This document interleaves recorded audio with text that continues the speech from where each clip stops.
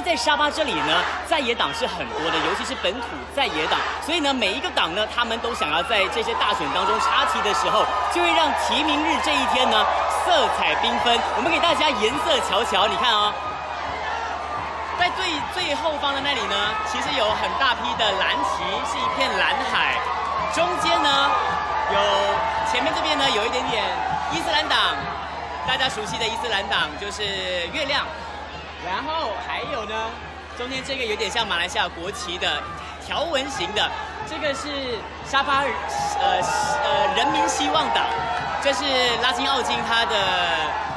的一个新成立的一个政党。然后呢，正在进场的这个呢，就是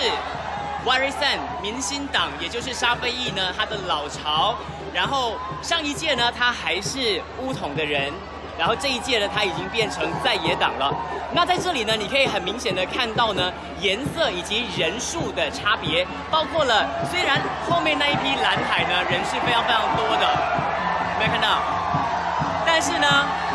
沙菲义在这里呢的老巢势力呢，真的是不容小觑啊！你看呢，在我身后现在呢看到的这个白旗，我们刚才说的白旗，那现在呢慢慢涌入的人潮呢，至少有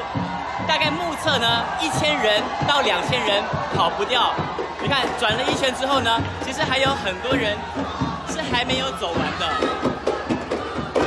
这就是沙菲义呢，他在老巢这里的势力，能够动员呢整个呃仙本那他的支持者呢，能够到这里呢为他加油打气。那同时呢，也不能忽略的就是其他的政党，不管是本土在野党也好，或者是国政那里呢，本来就是他们的老地盘、老树盘根的地方。这一届在仙本那呢，本来是一个呃定存州里面的一个稳赢的。呃的国旗或者是州旗，通常一国三州呢都是过去都是乌统拿下的，但是这一届因为增添了沙菲义这一个角色以及这个搅动的元素，所以呢这一届的选举当中就变得非常有看点了。那以上呢就是文杰呢在沙巴仙本那给大家掌握到的最新消息，我们再给大家感受一下在沙巴仙本那很跟我们西马那边呢很不一样的政治氛围了。好了，